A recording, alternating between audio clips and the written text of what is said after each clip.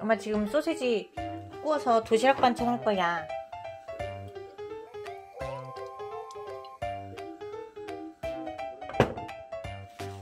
엄마 지금 굉장히 바쁘거든? 너는 저녁 많이 먹었잖아. 졸리면 가서 주무세요.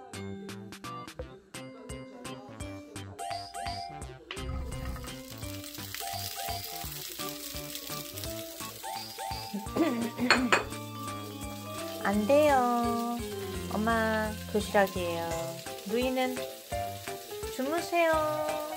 졸려 죽겠어. 야, 엄마도 먹고 살아야지. 엄마 도시락 싸가지고 가서 회사 가서 열심히 일하고 밥 먹어야지.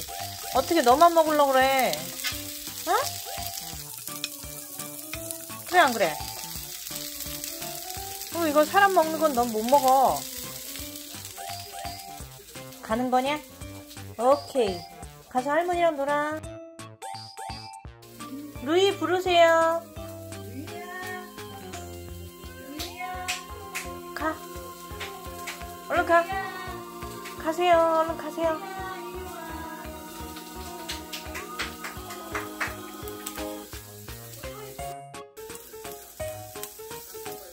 또 왔어? 루이야, 이건 엄마 거야. 이거 루이 못 먹어, 어차피.